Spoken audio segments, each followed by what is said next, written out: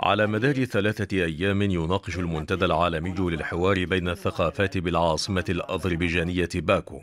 المشكلات والأزمات التي يعانيها العالم من خلال جلسات نقاشية وحلقات حوارية يشارك فيها وفود وقيادات رأي من 110 دول.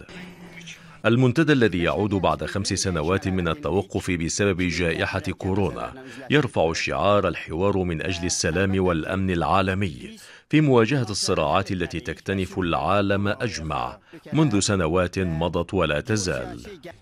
فورم yeniden canlanır bildiğiniz gibi نعود بالنسخة السادسة من منتدى الحوار بين الثقافات بعد توقفه منذ عام 2019 واعتقد أن القضايا والملفات التي سيناقشها المنتدى كالتنوع الثقافي والأمن والسلام والذكاء الاصطناعي ودور الشباب والحوار بين الأديان ستسهم جميعا في إيجاد حلول للمشكلات التي يعانيها العالم.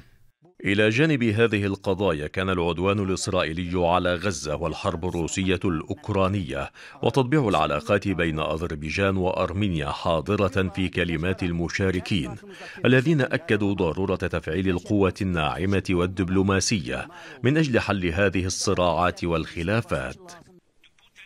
Bugün Orta Şərqdə baş verən العالم يواجه حاليا أزمات عدة وخطيرة ويجب التعامل معها ومحاولة إيجاد حلول جذرية لها كالحرب الروسية الأوكرانية والوضع في منطقة الشرق الأوسط وتقع على أكتافنا مسؤولية إحلال السلام بين الجانبين خاصة في الوضع في قطاع غزة وضرورة التوصل لوقف شامل لإطلاق النار. المنتدى الذي أفرد مساحة واسعة من برنامجه لأهمية الحوار بين الأديان في حل الصراعات العالمية. لم يغفل كذلك قضية ألغام ومخلفات الحروب داعيا إلى إيجاد حلول عملية لهذه القضية التي تهدد الآثار الاجتماعية والثقافية العالمية. بعد توقف دام خمس سنوات يعود المنتدى العالمي للحوار بين الثقافات إلى العاصمة الاذربيجانيه باكو في نسخته السادسة. سنوات ظهر خلالها العديد من الأزمات والمشكلات التي تهدد السلام والأمن العالميين ويأمل المنتدى من خلال جلساته وحلقاته النقاشية في إيجاد حلول لها أو تقليل تداعياتها على الأقل على دول العالم أجمع.